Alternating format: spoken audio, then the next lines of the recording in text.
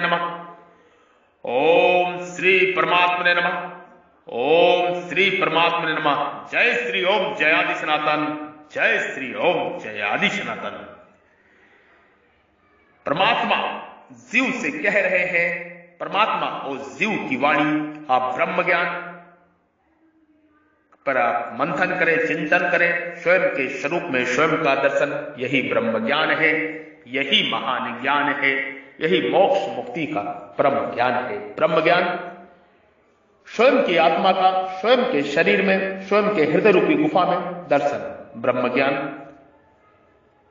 आप सभी के हृदय रूपी मंदिर में विराजमान परब्रह्म परमेश्वर ईश्वर को मैं प्रणाम करता हूँ, नमस्कार करता हूँ, कृतज्ञता के साथ में जो ब्रह्म आपके हृदय रूपी मंदिर में विराजमान है, हृदय रूपी गुफा में विराजमान है, परम ज्योति, प्रकाश पुंज उसको मैं प्रेम से प्रणाम करता हूँ, नमस्कार करता हूँ। साधु साधु, जय हो जय हो। नमो नमः नमो नमः, नमस्कार। ब्रह्म ज्ञान महान ज्ञान, मोक्ष मुक्ति का ज्ञान ब्रह्म ज्ञान मैं ब्रह्म ऋषि महर्षि बद्री विशाल, प्राशर योगी श्री, प्राशर ऋषि के संतान ऋषि पुत्र, ऋषि वंशज, ऋषि डीएनए, आपको ब्रह्म ज्ञान का ब्रह्म मुख्य उपदेश कर रहा हूँ। आप इस ब्रह्म मुख्य उपदेश, इस दिव्य वाणी का चिंतन करें, ध्यान करें, सुने, श्रवण करें। सीताराम, जय जय श्री राम गाय गंगा गायत्री, जल जंगल और ज़मीन, इस धरा के मूल प्राण तत्व है। इनकी रक्षा, सुरक्षा प्रत्येक जीव का कर्तव्य है, प्रत्येक जगत का कर्तव्य है, मनुष्य का कर्तव्य है, समस्त सृष्टि का कर्तव्य है। प्रकृति मेरी प्रकृति मेरी, यानी परमात्मा की अध्यक्षता में चराचर सहित संपूर्ण जगत की रचना करती है। हे धनंजय, हे जीव, इसी हेतु से जगत का विविध प्रकार से परिवर्तन होता है। मयाध्यक्षिणे प्रकृति सूर्यते सच राचरम। मेरे से सत्ता स्फूर्ति पाकर ही प्रकृति चर अचर। जड़ चेतन आदि भौतिक सृष्टि को रचती है। जैसे बर्फ़ का जमना हीटर का जलना, स्ट्रीम और रोल का आना जाना, रेल का आना जाना, लिफ्ट का चढ़ना, उतरना, हज़ारों मील दूरी पर बोले, जाने वाले शब्दों को सुनना, हज़ारों मील दूरी पर होने वाले नाटक आदि को देखना, शरीर के भीतर का चित्र लेना अल्प समय में ही बड़े से बड़ा हिसाब कर लेना। आदि आदि कार्य विभिन्न विभिन्न यंत्रों के द्वारा होते हैं, परंतु उन सभी यंत्रों में शक्ति बिजली की ही होती है। बिजली की शक्ति के बिना ये यंत्र, वे यंत्र स्वयं काम कर ही नहीं सकते, क्योंकि उन यंत्रों में बिजली को छोड़कर कोई सामर्थ्य नहीं है। ऐसे ही संसार में जो कुछ परिवर्तन हो रहा है, अर्थात अनंत ब्रह्मांड का सर्जन, पालन और संहार सर्वादि लोकों में और नरकों में, पुण्य पापों के फल का भोग, तरह तरह के विचित्र परिस्थितियाँ और घटनाएँ, तरह तरह की आकृतियाँ वेशभूषा स्वभाव आदि जो कुछ हो रहा है, वह सब का सब प्रकृति के द्वारा ही हो रहा है। पर वास्तव में हो रहा है। भगवान की अध्यक्षता में अर्थात सत्ता। स्फूर्ति से ही भगवान की सत्ता स्फूर्ति के बिना प्रकृति ऐसे विचित्र काम कर ही नहीं सकती, क्योंकि भगवान को छोड़कर प्रकृति में ऐसी स्वतंत्र सत्ता सामर्थ्य ही नहीं है कि जिससे वह ऐसा, ऐसे काम कर सके।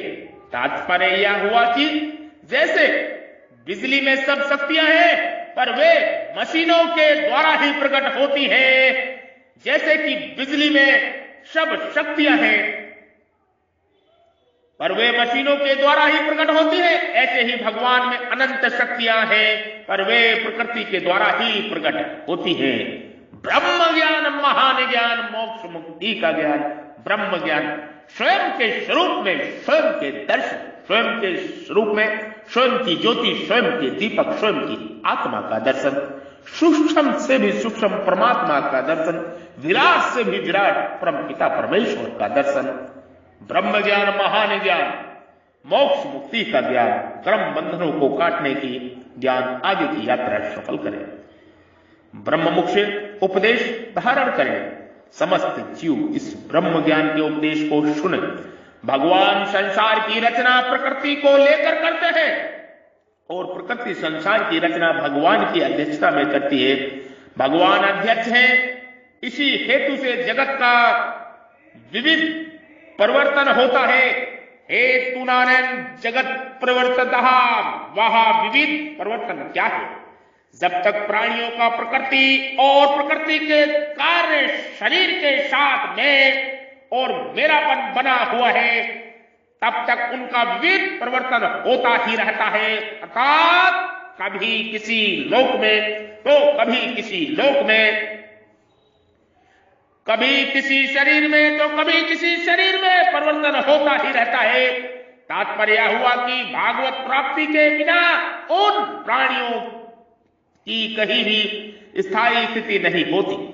वे जन्म मरण के चक्कर में घूमते ही रहते हैं, घूमते ही रहते हैं, घूमते ही रहते हैं। सभी प्राणी भगवान में स्थित होने से भगवान को प्राप्त है, पर जब वे अपने को भगवान में ना मानकर प्रकृति में मान लेते हैं, अर्थात प्रकृति के कार्य के साथ में और मेरापन का संबंध मान लेते हैं तब वे प्रकृति को प्राप्त हो जाते हैं, फिर भगवान को अध्यक्षता में प्रकृति उनके शरीर को उत्पन्न और लीन करती है।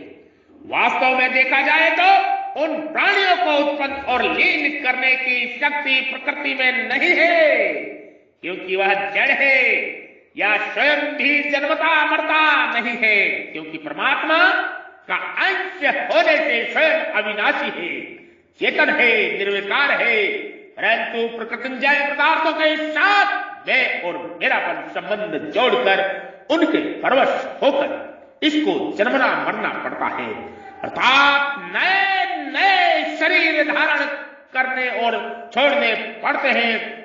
जगत मात्र की उत्पत्ति, स्थिति और प्रलय क्रिया होती है। वह सब प्रकृति से ही होती है, प्रकृति में ही होती है और प्रकृति की ही होती है। परंतु उस प्रकृति को परमात्मा से ही सत्ता स्फूर्ति मिलती है, शक्ति मिलती है।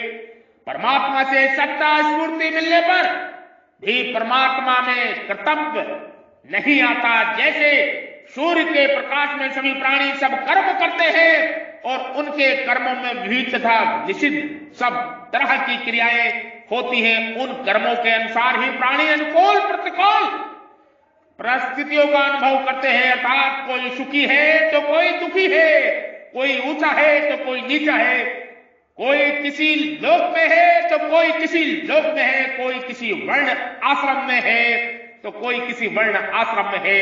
आदि तरह तरह का परिवर्तन होता है। परंतु सूर्य और उसका प्रकाश देव का देव ही रहता है। उसमें कभी किस मात्र भी कोई अंतर नहीं आता। ऐसे ही संसार में विविध प्रकार का परिवर्तन हो रहा है। पर परमात्मा और उनका अंश जीवात्मा देव का देव ही रहता है। वास्तव में अपने स्वरूप में किस मात्र भी परिवर्तन ना है, ना हुआ है, ना होगा आगे। और ना हो सकता है आगे। केवल परिवर्तनशील संसार के साथ अपना संबंध बांधने से अर्थात तदा तब मैं ममता और कामना करने से ही संसार का परिवर्तन अपने में होता हुआ प्रतीत होता है। अगर प्राणी जिन भगवान की अध्यक्षता में सब परिवर्तन होता है, उनके साथ अपनी वास्तविक एकता मान ले, जो कि स्वतः सिद्ध है। तो भगवान के साथ इसका कोई वास्तविक प्रेम व स्वतः प्रकट हो जाएगा। ब्रह्म ज्ञान महान ज्ञान मोक्ष मुक्ति का ज्ञान, ब्रह्म ज्ञान, स्वयं में जानने का, स्वयं को जानने का सर्वश्रेष्ठ ज्ञान आप ऋषि मुख से प्राप्त कर रहे हैं। इसको बार बार सुने, ध्यान से सुने और मोक्ष मुक्ति की ओर कर्म बंधनों को काटते हुए आगे की जीवन की यात्रा सफल करें। सीता राम जय जय श्री राम भगवान से सत्ता स्फूर्ति पाकर ही प्रकृति चराचर सहित संपूर्ण प्राणियों की रचना करती है। अर्थात सब परिवर्तन प्रकृति में ही होता है। भगवान में नहीं तब तक प्राणियों का प्रकृति के साथ संबंध रहता है, तब तक प्रकृति की प्रवस्था के कारण उनके विविध परिवर्तन होता रहता है, अर्थात उनकी कहीं भी स्थायी स्थिति नहीं होती। प्रत्येक वे जन्म मरण के चक्र में घूमते रहते हैं। प्रकृति तो परमात्मा के अधीन रहकर संपूर्ण सृष्टि की रचना करती है, पर जीव प्रकृति के अधीन होकर जन्म मरण के चक्कर में घूमता है। तात्पर्य है कि परमात्मा तो स्वतंत्र है, पर उनका अंश जीव, जीवात्मा सुख की इच्छा के कारण प्रतंत्र हो जाता है, गुलाम हो जाता है। कामना के कारण, सुख की इच्छा के कारण, कामना के कारण गुलाम हो जाता है। जबकि जीव परमात्मा का ही अंश है, वो भूल जाता है, वो भूल जाता है और क्रम बंधनों में प्रकृति के फांस में फंस जाता है। तत्व से भगवान शक्तिमान और प्रकृति शक्ति एक होते हुए भी मनुष्य को समझने की दृष्टि से भगवान कहते हैं कि सृष्टि की रचना में प्रकृति का मुख्य हाथ है। वास्तव में ना प्रकृति की स्वतंत्र सत्ता है, ना कर्मों की। अगर भगवान और उनकी प्रकृति को अलग अलग देखे तो संसार का उपादान कारण प्रकृति है और निमित्त कारण भगवान है, क्योंकि संसार रूप से भगवान परिणित नहीं है। होते प्रति प्रकृति परिणित होती है। परंतु भगवान और उनका, उनकी प्रकृति को एक देखे जो कि वास्तव में एक है तो भगवान संसार के अभिनिमित तो पदान पदन, अभिनिमित्तो पदान कारण है। अभी अभिन्न निमित्त तो पदान कारण है। तो भगवान संसार के अभिन्न निमित्तो पदान कारण है। कारण है कारण है। आरंभ में भगवान ने, आरंभ में परमात्मा ने परा और आपरा प्रकृति के स्वरूप के बारे में जीव को समझाया है। परमात्मा बार बार जीव को समझा रहे हैं। धनंजय कहते हैं, जीव को धनंजय प्राण, उपप्राण। धनंजय। यही जीव है यही जीव है। धनंजय उपप्राण जीव को परमात्मा भगवान बार बार समझा रहे हैं। उनके कार्य उत्पत्ति स्थिति प्रलय का वर्णन कर रहे हैं। तो भगवान की लीला है, परमात्मा की लीला है, तात्पर्य है कि, तात्पर्य है कि परा आपरा का वर्णन मुख्य है और परा और आपरा के मालिक, परा और आपरा के मालिक परमात्मा परमात्मा देव का वर्णन मुख्य है। मुख्य है भगवान की लीला प्रभाव, परमात्मा की लीला प्रभाव, ऐसा विशद वर्णन है, जिससे साधक का भगवान में प्रेम हो जाए, वह मुक्त, मुक्ति में अटके नहीं। वह मुक्ति में अटके और मुक्ति हो जाए। मुक्ति में बगैर अटके ही मुक्ति हो जाए। परमात्मा यही चाहते हैं। परमात्मा चाहते हैं जीव अनंत प्रेम में आ जाए और मुक्ति को न चाहते हुए ही मुक्ति हो जाए। यही सच्ची मुक्ति है। यही परमात्मा के साथ, भगवान के साथ एकता है। प्रकाश पुंज के साथ एकता है। जो नित्य निरंतर अपने आप में ही स्थित रहते हैं, जिसके आश्रय प्रकृति घूम रही है, और संसार मात्र का परिवर्तन हो रहा है। ऐसे परमात्मा की तरफ़ दृष्टि ना डालकर, जो उल्टे चलते हैं, उल्टे चलते हैं, उनका वर्णन में आगे के सत्संग में, सत्य ज्ञान ज्ञान में, ब्रह्म ज्ञान में, इस ब्रह्म मुक्ष में कहूँगा, आगे के समागम में, आगे के सत्संग में, ये सत्यवाणी का मैं सत्य संग, सत्य का संग करूँगा। यह दिव्यवाणी ब्रह्म ज्ञान का। आगे के श्लोकों में मैं आपको बताऊँगा, आगे के दिव्यवाणी आगे के शब्दों में, आगे के अग्निवाणी रूप में मैं कहूँगा, आगे के मंत्रवाणी में मैं कहूँगा। ब्रह्म ज्ञान महान ज्ञान, मोक्ष मुक्ति का ज्ञान, स्वयं के स्वरूप में, स्वयं के दर्शन, यही ब्रह्म ज्ञान है, यही महान ज्ञान प्रकाश पुंज का ज्ञान, परमात्मा तत्व का ज्ञान, परम तत्व का ज्ञान, परम तत्व दर्शन का ज्ञान, ब्रह्म ज्ञान। स्वयं के स्वरूप में स्वयं का दर्शन, ब्रह्म ज्ञान, महान ज्ञान, मोक्ष मुक्ति का ज्ञान। आप सभी जी धारण करें, इस सत्संग को बार बार सुने, हृदय में धारण करें और इसको शेयर करें। ज़्यादा से ज़्यादा लोगों तक पहुंचाएँ ताकि समस्त विश्व का कल्याण हो सके। समस्त विश्व को ब्रह्म ज्ञान हो, विश्व में परिवर्तन हो, विश्व में शांति हो, विश्व का कल्याण हो, विश्व में शांति हो, विश्व शांति के लिए यह ज्ञान प्रचार प्रसार मैं ब्रह्ममुख से, मैं ब्रह्म ऋषि महर्षि बद्री विशाल पराशर योगी ऋषि कर रहा हूँ। मैं ऋषि पुत्र ब्रह्म स्थानों पर भारत, इंडिया से यह ज्ञान का प्रचार और प्रसार कर रहा हूँ। ग्लोबल मेडिटेशन, चेतना प्रकट प्राप्ति ध्यान। ब्रह्म ज्ञान चेतना प्रकट प्राप्ति ध्यान CP PhD HB meditation global meditation आप सभी इसको करें और स्वयं के स्वरूप में, स्वयं की चेतना का, स्वयं की लाइट का, स्वयं परमात्मा, जो सूक्ष्म से भी सूक्ष्म है, विराट से भी विराट है, उनके दर्शन करें और अपना जीवन सफल करें। ब्रह्म ज्ञान महान ज्ञान, मोक्ष मुक्ति का ज्ञान। पुनः एक बार आपके हृदय रूपी मंदिर में विराजमान परम परमेश्वर, ईश्वर को मैं, परमात्मा को, परम पुंज को, प्रकाश पुंज को, परम प्रकाश लाइट को मैं प्रणाम करता हूँ, नमस्कार करता हूँ। कृपा मेरा प्रणाम, नमस्कार, स्वीकार करें। उस दिव्य, परम परम परम ऊर्जा को प्रणाम करता हूँ जो आपके हृदय रूपी मंदिर में विराजमान है। सूक्ष्म से भी सूक्ष्म स्वरूप में मैं उसको प्रणाम करता हूँ। कृपा मेरा प्रणाम स्वीकार करें।